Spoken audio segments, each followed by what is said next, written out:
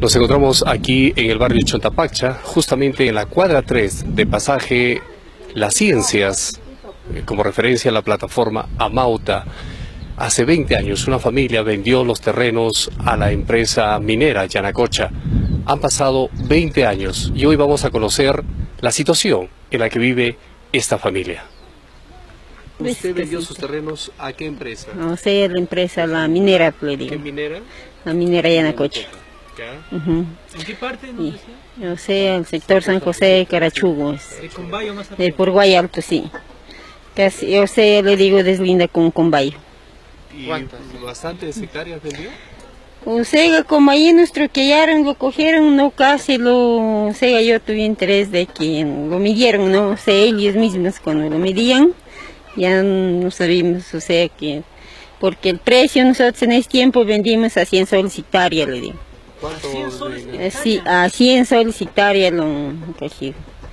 Y que pues nos dieron una miseria, le digo, o sea, nos dieron la, nos dieron solamente un mil, como mil quinientos, que fue, sí, sí, que fue, ya nos dieron eso. El terreno que hemos vendido, así las primeras ventas de nosotros, casi no recuerdo porque la mina está como, 20 años. como le digo, 20 años, algo de más. Ya, han pasado muchos años. Sí, ya han pasado muchos años ya. ¿Y el dinero se acabó? Uh, el dinero se acabó, le digo ahí nomás.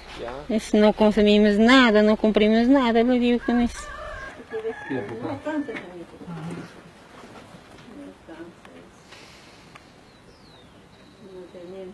Pongamos minera Yanacocha, como nosotros somos propietarios, pero ni minera Yanacocha nunca viene a vernos cómo estamos viviendo nosotros.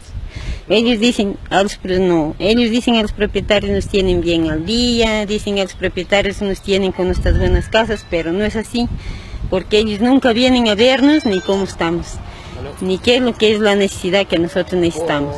Y como dicen, hasta, hasta que lo vendamos, nos, claro, nos dijeron que sí, lo vamos a dar trabajo, hasta que lo vendamos y después ya, ya se fueron, ya ni, ni- por última hora ni se acuerdan ya de, de- de nosotros.